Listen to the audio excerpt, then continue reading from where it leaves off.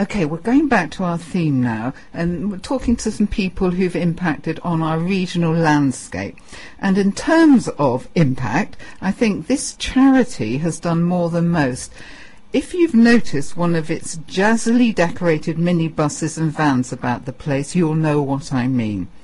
Helena went out to interview Brian Burnie from the charity Daft as a Brush. Brian Burnie, a man with a vision, a pioneer of our times, who set up Daft as a Brush Cancer Patient Care to take cancer patients to and from hospital free of charge. Much admired and respected in the Northeast, he has now embarked on a mission to walk 7,000 miles in two years around the coast of Great Britain and Ireland. Looking back to the day you had the idea for Daft as a Brush Cancer Patient Care, did you ever think that you would have such a success? The quick answer is no. I've been in, working with charities for some 40 to 50 years and they've been absolutely super. But it's only in the last eight years that I've worked with volunteers on a, day-to-day basis and I never realised how good volunteers are. I have a fantastic job and invited all over to say lovely things about this, that and the other.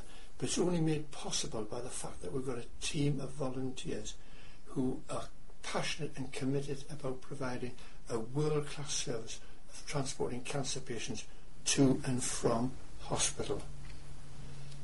Last year we did some 40,000 patient journeys. I knew the charity would be successful, but I didn't realise how successful. And it's the volunteers that have taken that idea of vision into a reality. And how many are on the team today and how many ambulances do you have? We have a fleet of vehicles, 27.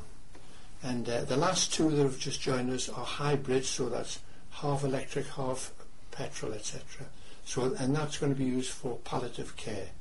But um, so 27 ambulances, and uh, we have somewhere between 330 and 360 volunteers who donate their time free of charge.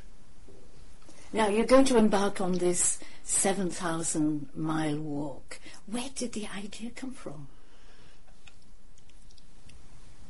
As a child, you've looked up to people when they've done these wonderful things like climbed Mount Everest or went to the moon, etc. And I thought, well, we're going to have to do something rather special to take the idea of what we do in the north of England, providing free service for cancer patients nationwide. And the best way is to walk the coastal path of Great Britain and Ireland, telling people what we're doing.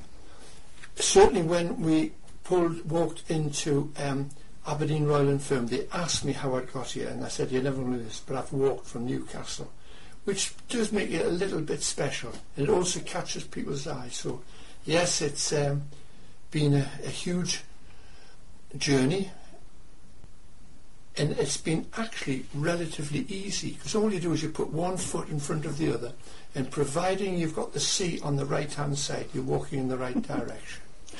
But on the 5th of March I left the Sage walked over the Millennium Bridge with all the mayors of the north of England here and also the Bishop of Newcastle and we, we walked the first stretch of the walk from the Sage down to Tynemouth and then into Cullercoats that was the first day's walk and then I've just continued up the east coast to Edinburgh, Dundee, Aberdeen, Inverness, and then John O'Groats, and then along the top, and then down the west coast to the Isle of Skye.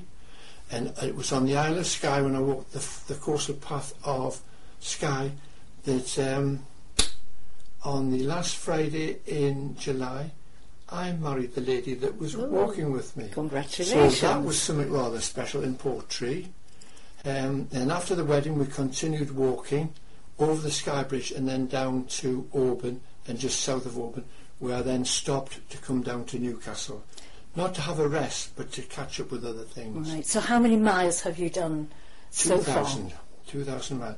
And it's funny because when you're walking, obviously most of the time on your own, it is a little bit lonely, or but you do talk to yourself which wasn't a problem. It's only when you start answering yourself back that you definitely have a problem.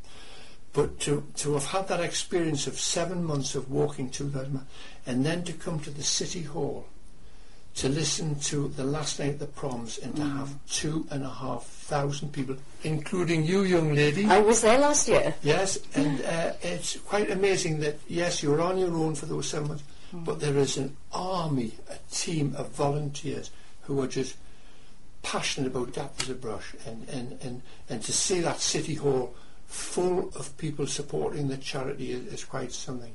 Because the interesting thing about volunteering for as a Brush is it's amazing how much the volunteers get out of what they're doing. You're an integral part of that journey to recovery from cancer. And yes, the medics provide in here in Freeman Alvia fantastic world-class service in the hospitals with the radiotherapy, the chemotherapy, etc. But if the patients can't or won't get to the hospital on time, it does create a major problem. And that's where I think the Northern Centre for Cancer Care really appreciate what we've done. I think what uh, what is very special is that your staff or your volunteers actually stay with the cancer patients during their trip to and from hospital. Yes. And it's having that companionship that is very important. Yes, and also the fact that each patient is allowed to bring a family or friend because it's quite a worrying uh, experience of how they're going to get to hospital. But if they've got someone, family or friend, and they've also got a companion from as a Brush, it certainly makes that journey that little bit more pleasurable. All right. Can we just have a little break and um, have some music? Uh, what have you chosen for us to listen to? Uh, well, being a Geordie, it has to be something about the River Tyne, and yes, I'd like if you could possibly play Water of Tyne, please, because it's quite a moving love story.